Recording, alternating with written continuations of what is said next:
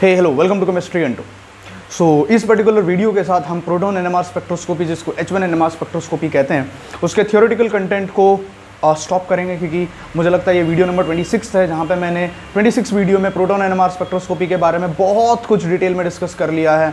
मुझे उम्मीद है कि ये 26 वीडियोस ने आपको ज़रूर कुछ ना कुछ मदद की होंगी। ये सफ़र बहुत अच्छा रहा है मेरे लिए।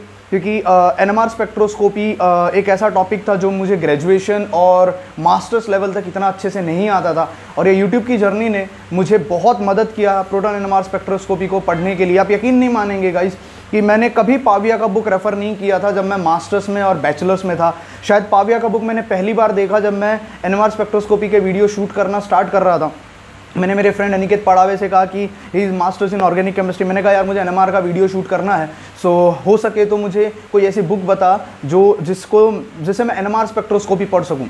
तो उसने मुझे पाविया का ये बुक ला के दिया। ये बुक भी मेरा नहीं है ना ही उसका ये किसी सर का था। तो मैंने पहली बार पाविया का बुक पढ़ना स्टार्ट किया या पहली बार मैंने किसी एनएमआर स्पेक्ट्रोस्कोपी से रिलेटेड कोई बुक पढ़ना स्टार्ट किया। एंड गाइस यकीन मानिए 26 वीडियो की ये सीरीज़ काफ़ी अच्छी रही। बहुत कुछ मुझे खुद सीखने को मिला। कुछ वीडियोस ऐसे थे जिनका कंटेंट डेवलप करने के लिए मुझे मेरे कुछ फ्रेंड्स हैं जो ऑलरेडी न्यूक्लियर फिजिक्स में पीएचडी कर रहे हैं, मुझे उनके साथ कॉन्टैक्ट बनाना पड़ा कि कुछ टर्मिनोलॉजीज को समझना था, कुछ कॉन्सेप्ट को क्लियर समझना था। जैसे for example magneto gyromagnetic ratio जो हमने एक वीडियो बनाया था कुछ डेरिवेशंस थे जो बुक्स में उतने अच्छे से नहीं दिए थे। तो कुछ ऐसे भी टॉपिक्स थे जिनको समझने के लिए मुझे उन स्टूडेंट्स मेरे उन फ्रेंड्स के पास जाना पड़ा जो जो फिजिक्स बैकग्राउंड से थे। क्योंकि शायद अगर मैं उनके पास नहीं जाता तो मैं उतने डिटेल में शायद ये वीडियोज़ नहीं बना पाता था। सो so, इस वीडियो में हम N M R proton N M R spectroscopy को विश्राम देंगे हम उसको स्टॉप करेंगे। मुझे उम्मीद है कि यहाँ तक जितना मैंने आपको पढ़ाया है और अगर आपने ये 26 वीडियो तक अगर आप देखते देखते पहुँच गए हो, क्योंकि जो कि बहुत रेयर है, लोग यहाँ तक नहीं पहुँच पाएँगे, शायद किसी ने एक वीडियो, दो वीडियो, तीन वीडियो देखने के बाद ही बंद कर दिया होगा because most of the students की मैंटेलिटी होती है कि हम थियोरटिकल वीडियोज़ क्यों देखें? हमें तो दो वीडियो या एक वीडियो में हमें एनएमआर स्पेक्ट्रोस्कोपी को कंप्लीट कर दो, हमें वैल्यूज़ बता दो, हमें जे का वैल्यू बता दो, हमें डेल्टा पीपीएम का वैल्यूज़ बता दो, हमें मोलिकुलर इल्यूसिडेशन करना सिखा दो। We are more than happy मतलब हमें कॉन्सेप्ट से कोई लेना देना नहीं है, ना ही हमें ये पता करना है कि प्रोटोन क्या कर रहा है, ना ही हमें ये पता करना है कि स्पिन स्पिन स्प्लिटिंग कहाँ से आई, क्यों आई, किधर आई, उसका क्या इंपैक्ट होता है। बट अगर आप यहाँ तक सर्वाइव कर गए हो तो मैं कहूँगा एक काफ़ी अच्छे सोल्जर हो आप। काफ़ी दूर तक आप यहाँ तक चलते हुए आ गए हो। इस वीडियो में जाते जाते मैं आपको एनएमआर स्पेक्ट्रोस्कोपी यानी प्रोटॉन से रिलेटेड कुछ वैल्यूज़ देके जाऊँगा। ये एक तरीके से यूँ समझ सकते हो कि लास्ट कॉन्ट्रीब्यूशन है प्रोटॉन एनएमआर स्पेक्ट्रोस्कोपी के लिए। तो आपको कुछ फंक्शनल ग्रुप्स का मैंने यहाँ पे ग्रुप किया हुआ है। There are three two five six seven eight आठ ग्रुप मैंने यहाँ पे बनाए हुए हैं। ये आठ ग्रुप आठ अलग अलग फंक्शनल ग्रुप्स के बारे में है। या मैं यूँ कह सकता हूँ कि आठ अलग अलग प्रोटॉन्स के बारे में है जो अलग अलग जगहों पे हो सकते हैं। जैसे सबसे पहले स्टार्ट करते हैं। आ, मुझे उम्मीद है यहाँ तक आते आते आप लोगों को जितना भी प्रोटॉन एनएमआर स्पेक्ट्रोस्कोपी का बेसिक्स है वो सब ऑलरेडी आता है। इनकेस अगर आप डायरेक्ट यही वीडियो पहली बार देख रहे हो तो मैं आपसे रिक्वेस्ट करूँगा कि पीछे जाके जरा एक बार 25 वीडियो पे मैंने बहुत मेहनत की है ऑलमोस्ट सात आठ महीने हो गए मुझे ये वीडियोस बनाते हुए। तो प्लीज़ पीछे से आके देखते आइए फिर उसके बाद यहाँ से स्टार्ट करेंगे वरना आपको यहाँ कुछ समझ में नहीं आने वाला है। एक, एक बहुत छोटा सा वीडियो है ये। यहाँ पे हम लोगों ने बात किया है अल्केन्स का। अल्केन्स में अगर आपके पास एक ऐसा हाइड्रोजन है जो एस पी कार्बन के साथ है।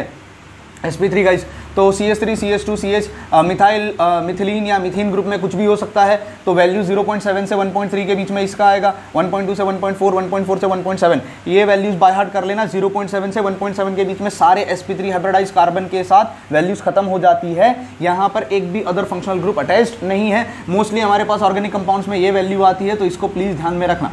तो ये तो पहली चीज़ हो गई, ये सबसे इंपॉर्टेंट है। उसके बाद आते हैं एरोमेटिक कंपाउंड अगर आपके पास एक ऐसा हाइड्रोजन है जो एरोमेटिक रिंग के साथ अटैच है तो उसका वैल्यू 6.5 से 8 के बीच में आएगा, यानी डाउन फ़ील्ड आने वाला है। और अगर वो एक ऐसा हाइड्रोजन है जो एरोमेटिक रिंग के बीच में कार्बन के साथ अटैच है, यहाँ पे एडजेसेंट कार्बन के साथ अटैच है तो 2.3 से 2.7 यानी वो थोड़ा सा अप फ़ील्ड चला जाएगा। तो ये दो वैल्यूज़ आपको बाय हार्ट करनी है। फिर आते हैं यहाँ पे यहाँ पे हम बात करते हैं डबल बॉन्डेड और ट्रिपल बॉन्डेड सिस्टम्स की। देखो double bonded triple bonded system यानी अनसेचुरेटेड हाइड्रोकार्बन के अंदर दो ही ग्रुप आते हैं अल्किन से आएगा या अल्काइन से आएगा। उसमें भी दो पॉसिबिलिटी है। अगर आपका हाइड्रोजन डायरेक्ट डबल बॉन्ड के साथ अटैच है डायरेक्ट डबल बॉन्ड के साथ तो 4.5 से 6.5 के बीच, यानी थोड़ा डाउन फ़ील्ड हो जाएगा। अगर वो डबल बॉन्ड्स के साथ लगे हुए कार्बन के साथ अटैच है एडजेसेंट कार्बन के साथ अटैच है तो उसके, उसका वैल्यू 1.6 से 2.6 हो जाएगा। अब ये अल्कीन है। अल्काइन का वैल्यू भी उतना आएगा अल्कीन का वैल्यू भी उतना आएगा इनकेस अगर हाइड्रोजन एडजेसेंट कार्बन पे फंक्शनल ग्रुप वाले कार्बन पे अटैच नहीं है। अल्काइन में भी अगर एक हाइड्रोजन एडजेसेंट कार्बन के साथ अटैच है तो इन तीनों का वैल्यू इन तीनों का वैल्यू 1.6 से 2.6 आएगा। मुझे लगता है ये तीनों का वैल्यू एक ही है। बाहर करना काफ़ी आसान हो जाएगा। एरोमेटिक हो गया अल्केन्स का हो गया अल्काइंस का अनसेचुरेटेड हो गया। उसके बाद बात करते हैं ये वाले फंक्शनल ग्रुप के साथ। ये सबसे इंपॉर्टेंट है। एल्डिहाइड और एसिड देखो एसिड की सबसे एकदम शार्प पीक और ज़बरदस्त वाली पीक आती है, जो कि सबसे डाउनफील्ड आती है, और वो होगी अगर मेरा एक ऐसा हाइड्रोजन है, अब एसिड वेसिड याद नहीं रखने का, ये याद रखने का कि हाइड्रोजन कहाँ है? अगर मेरा एक ऐसा हाइड्रोजन है, जो डायरेक्ट कार्बोनिल ग्रुप के साथ अटैच है acid hydrogen attach to carbonyl group नौ से दस। और अगर उसके बीच में, उसके बीच में ऑक्सीजन आ जाता है कार्बोनिल के बीच में अगर ऑक्सीजन आ जाता है, यानी वो एसिड ग्रुप अगर हो जाता है तो उसका 11 टू 12 आ जाएगा। तो ये दो ग्रुप हैं एल्डिहाइड ग्रुप और एसिड ग्रुप एल्डिहाइड ग्रुप और एसिड ग्रुप काफ़ी डाउनफील्ड आते हैं। तो ये याद रखने का ज़रूरत है। 11 to 12 will be peculiar peak of acid carboxylic acid या कोई भी एक एसिड होगा, उसका पिक्यूलर पीक होगा। और एल्डिहाइडिक ग्रुप की सबसे ज़बरदस्त वाली पीक आती है नौ से लेके दस के बीच में। अब देखो एक और चीज़ याद रखने का। ये तो वो हाइड्रोजन होगा या तो कार्बोनिल के साथ डायरेक्ट अटैच होगा, या कार्बोनिल के और उसके बीच में ऑक्सीजन होगा। अगर एक ऐसा हाइड्रोजन है जो कार्बन वाले एडजेसेंट कार्बन पे यहाँ पे अटैच है, ये हाइड्रोजन अब ये हाइड्रोजन हर जगह होने का चांसेस है। एल्डिहाइड में होगा कीटोन में होगा अमाइड में होगा एसिड में होगा। Because this hydrogen will be present everywhere यहाँ पर तो होगा ही होगा। अदरवाइज़ कीटोन एल्डिहाइड एमाइड और एसिड के फॉर्मूले में भी वो आने वाला है। यहाँ पे आप आर लिख के छोड़ सकते हो। इस हाइड्रोजन की पीक हमेशा फिक्स होती है। वो कोई भी आगे एल्डिहाइड हो कीटोन हो एमाइड हो एसिड हो 2.1 से 2.4 के बीच में बहुत नैरो रेंज है इसकी। 2.1 2.4 के बीच में ही इसकी शार्प पीक आने वाली है। अगर ऐसी कोई शार्प पीक आ जाती है तो समझ लेना कार्बोनिल ग्रुप के साथ अटैच ये है। और अगर कार्बोनिल के साथ अटैच ये है और उसके बाद अगर 11 12 की भी पीक आ जाती है तो समझ लेना क्या बन गया आपका एसिड बन गया है। ठीक है? C S three C double bond O bond O H तो ये पहचान करने का एक तरीका हो जाता। है तो ये दो पीक्स और ये पीक ये तीन पीक्स आपको याद रखनी है एट एनी कॉस्ट देखो, पहली वाली 9 से 10 आती है 11 से 12 आती है 2.1 से 2.4 के बीच में आती है। 9 टू 10 जो आपकी आएगी, वो किसकी आएगी? एल्डिहाइड की। 11 टू 12 जो आपकी आने वाली है, वो किसकी आने वाली है? एसिड की। और वो तो काफ़ी शार्प पीक होती है, काफ़ी अच्छी पीक होती है वो। ठीक है? एकदम हटके पीक होती है। मिथाइल मिथेल अल्केन अल्किन की जो पीक होती है, वो टी के पास जाके वहाँ पे वहाँ पे कंजस्टेड रहती है। ये काफ़ी डाउनफील्ड हो जाती है। उसके बाद में बात करते हैं ऑक्सीजन के साथ लगे हुए हाइड्रोजन क्या देखो, ये वो हाइड्रोजन हैं जो अलग अलग सिचुएशंस में होंगे। अगर ऑक्सीजन के साथ डायरेक्ट लगा है तो 0.5 से 5 के बीच में बहुत काफ़ी ब्रॉड रेंज हो जाती है, क्योंकि डिपेंड करता है कि कौन से सॉल्वेंट में है प्रोटोनेटेड है डीप्रोटोनेटेड है, कौन से किस तरीके के कंडीशन में है, किस टेम्परेचर पर है, किस पी एच वैल्यू कंडीशन में है। तो ये जो पीक है एल्कोहल की पीक ज़ीरो से फाइव के बीच में आएगी तो आप इस पर रिलाई नहीं कर सकते मोस्ट ऑफ़ द टाइम फिर आती है हमारे पास अगर एक ऐसा हाइड्रोजन है जिसके ऑक्सीजन के और हाइड्रोजन के बीच में कार्बन आ जाता है।